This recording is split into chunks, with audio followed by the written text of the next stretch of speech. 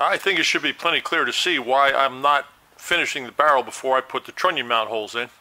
It's just a lot easier to do this particular operation when you have parallel sides front and back. And the back side, this side here, or the, I guess the breech side, if there was a breech on these, is going to have that ball configuration and will be a little bit tougher to hold. Now when you sweep a part like this in with an indicator, you need to get the vertical high spot as well as the radial high spot.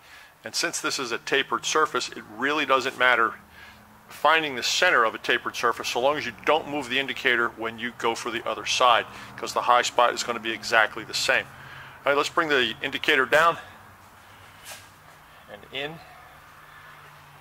and look for the vertical high spot on this. You'll see it show up.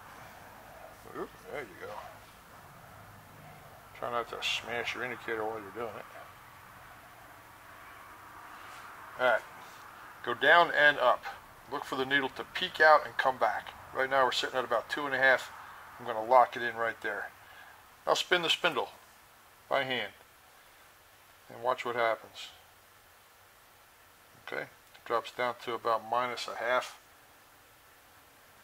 both ways. So right there where the needle doesn't move, that should be your zero, which it is. If you have a digital readout, zero it right now provided it's turned on.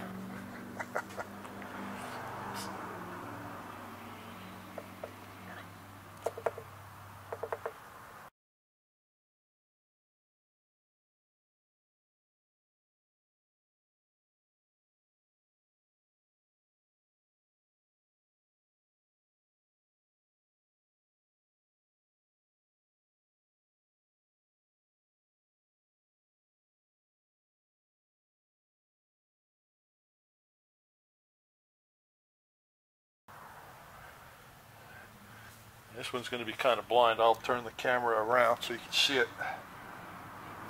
Without moving the indicator, come around the other side of it, do the exact same thing.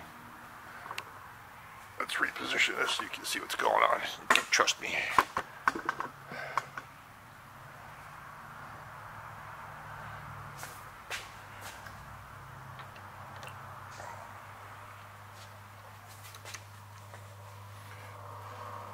Going to look for the vertical high spot first so I know I'm on center of the barrel. I'm moving the x-axis into the indicator to drive the needle forward. There's my high spot right there. Going to spin it now. Watch for the bounce point. I'm going to move it back to about a half before where it was on the other side. And remember like I told you guys about Watch the face of your indicator. This is a Brown and Sharpe brand. I am a half thou on the brown side. So right now my dial, my digital is reading 234. I'm going to hit the center line button, select the x-axis. And when I move back to 117, or into 117, digital readout reads zero. I am now on the center of that part. Alright, I'm going to go through there with a 4 flute 3 8 inch carbide end mill. I shifted 125 thou off center, 1 8 of an inch. And cosmetically, I'm between the second and third support ring on the barrel. And once we hollow this barrel out, the majority of the weight's going to be on this end, so it's going to have a bias to the rear, which is good, which is what I want let's creep the table up and uh, put a nice clean hole through that. Now brass is a real grabby material with drills and anything else, so to keep this hole nice and clean, additionally since I'm going in on a radial surface, I am going to lock the spindle in place, lock the quill, column, whatever you're going to call it where you're at, and I'm going to come up with the part. Okay, so the cutting you see is the table moving up.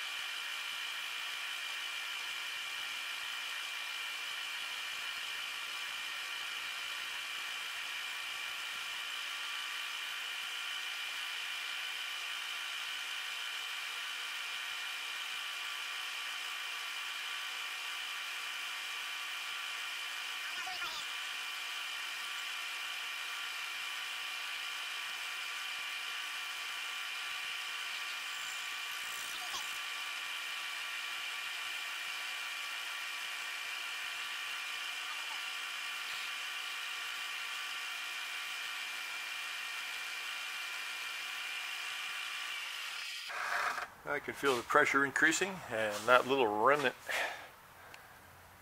right there in the end mill would be why. We have a clogged flute. That is something you definitely need to be aware of. There you go. Let's continue. I do have a stop set on my quill. I am feeding the column or I'm feeding the, the quill down to the stop, backing out, coming up with the table, feeding back down to the stop. So there won't be any grabbing going on. That's not under control.